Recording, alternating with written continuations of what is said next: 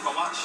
Let me in a person. Not before. Oh, no, I'm just, I'm just filming um, exercises for Rap. For who? For an app.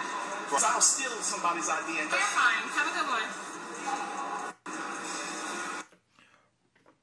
Mind if I watch my of all the things you could say, mind if I watch. How does that not sound creepy to you? You sound like a sex offender or one in training. That's diabolical behavior, my boy.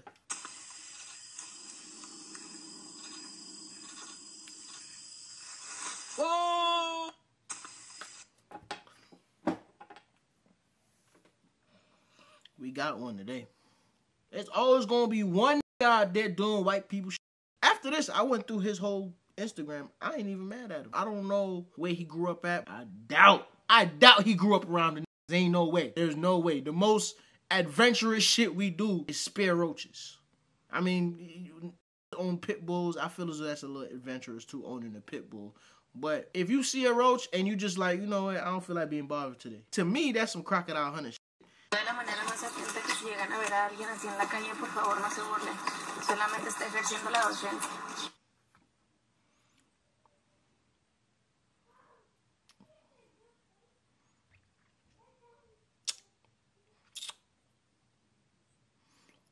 What I want to say, I'm not going to say. Because I don't want to get myself in trouble. But Supergirl ain't never looked like that. Hmm. And I ain't mad. gotta know exactly who you are. Lord have mercy. We must stay focused, brothers. Oh we my God. Back gotta to, know ex- bro, back to back. Oh man, not back to back. Y'all trying me. y'all, y'all folks trying me today. Um, her, her, her uh, I'm stuttering.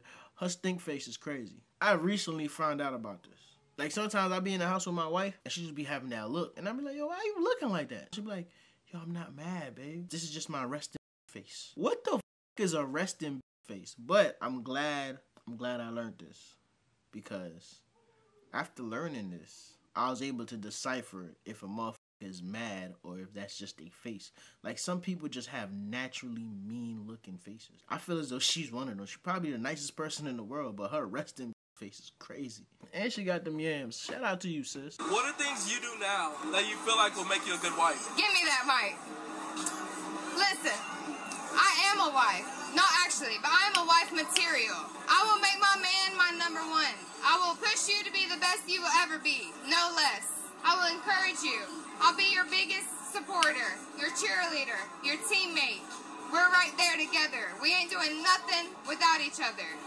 All right? And we're going to have a family, and we're going to raise those babies to be the best that they can be. And I'm going to love you till the day you die, and even when then, I'm going to love you till till I die. That's my man. All right. I don't got one, but but soon. I read the comment. Somebody said she done turned it into a TED talk.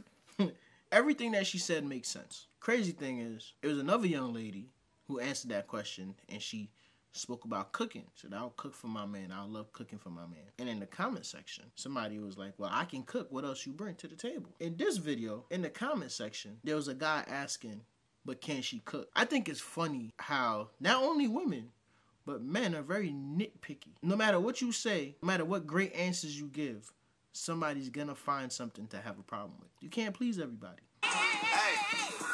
Hey, how much does a man have to make for you to take him serious, Yareli? A hundred K. A hundred K, more than me. Question. What would you rate me on a scale from 1 to 10? Well, I can't see you with your glasses. Put them on. Three. A BMS. I don't know what that. Broke my scale. Let's go on a date. Uh, no, I'm just kidding. I know. All right. Hey, No, no, no, no. better question. I ain't gonna lie. I kind of like it really better, so I'm not trying to play with you as much. You know what I'm. That's a know what I'm saying? I'm saying? not trying to get with you. I just Alright. a question.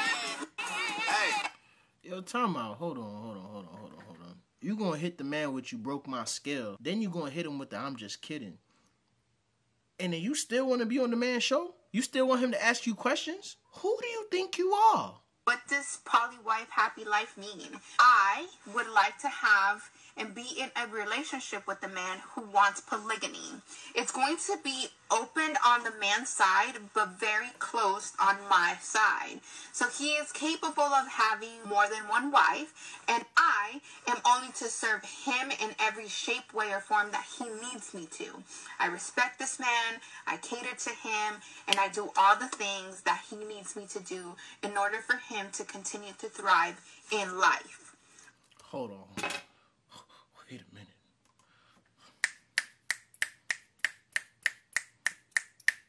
Wait a minute. Oh. Sis just came through swinging. She just came through swinging. God damn. I wasn't ready. Okay, I recharge his batteries a thousand percent of the time because I'm a woman.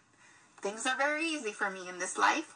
And so my uh, dynamic of a relationship, of a marriage, is I do want to be married to a man who just want to have more than one wife. I want my sister wife. I can't wait to be blessed with a man who sees this dynamic and respects it in the right way. Y'all boys need to go find her. The crazy thing is, you would have a woman like this. She's open to you bringing in another female in a relationship. So now you got a two for one special. Somewhere out there, it's a dude that'll still find a way to mess this situation up. Not, not I, of course. Because if my wife even hint at me bringing some new pussy in the crib, that's all I'm gonna say. I'm gonna leave it at that. Listen, I'm gonna keep saying it. I'm gonna keep saying it. I know it's about 25,000 of you guys that watch these videos that still haven't subscribed. Hit that subscribe button. Come on now, we almost at 100k, man. Excuse me, sorry. Are you two a couple? Would you mind telling us the story of how you first met?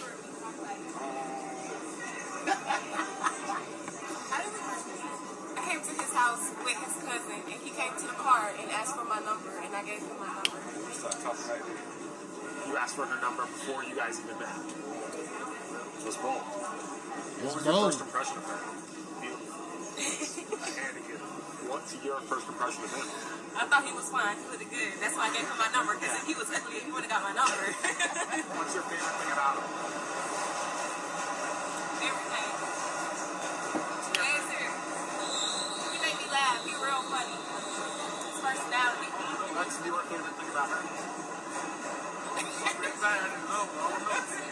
Man, what say? I just love her.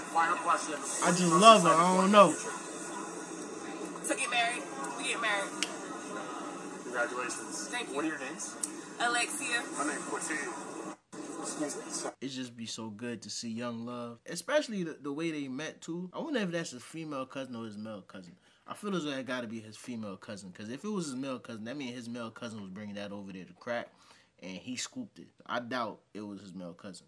If a guy's asking you for your number, this is exactly what you're gonna say to make sure that you don't get fucked up. If he asks you for your Instagram, just say, "Oh, I really don't use social media that much," and then he's gonna ask you for your number. Be like, "Next time, next time." Then he's gonna be like, "What you mean next time? We're probably never gonna see each other again." This is what you're gonna say. That's how we know it's meant to be. If we see each other again, it's meant for me to give you my number. It works every fucking time, I promise you. Because now you done made it a game in his head, and now he got something to look forward to. But I'm gonna tell you this: don't you can't never go back to that spot again. I don't care if it's your favorite place in the world. Never go there. I'm gonna be honest with you. It's sad that you had to play these games instead of just simply telling somebody no. But I understand it's a lot of emotionally unintelligent men walking around here that can't handle rejection. And by her simply saying no, I have a boyfriend, or no, I'm not interested, things can get ugly. So I, I do understand she trying to figure out ways to, you know, make the process a little less dangerous. But at the same time, it's a nigga out here that's gonna be like, yo, you playing games with me and the situation can still turn dangerous. One. And Jador, why did you end up popping your balloon? Dr. Elam, it's such a tragedy because you are so handsome. I feel like you are extremely arrogant. And I feel like you're probably gonna have a hard time because you seem like the type, like a know it all type of guy. And sometimes you have to be careful with that because even when you know it all, you don't know everything. Mm. You know, so being humble sometimes can be your best friend, even if you do know it all, even if you're very smart, very wise, you know, but just having a humble attitude, you know what I mean? you would probably go a lot further. Mm. And I say that with all the respect in the world. No, don't do that. Mm. Thank you. You're welcome. Who's your dentist? Who is my dentist? Not you, sweetheart. And I'm just gonna leave it right there. Oh, I know. I'm not your dentist. Yeah. Okay. All right, let's let's let's, let's go to our next person here. Hold on, hold on. First off, the way he walked off, the way he walked off, we cannot say that he's not crossing the street. He's crossing the street. He's jaywalking. He's definitely jaywalking. Why are you even on that show? Why are you on that show? What are you looking for? Based on how he responded, I feel as though her analysis of him is correct. She broke him down to a T. I already told you how I feel about these shows, man. These folks is crazy.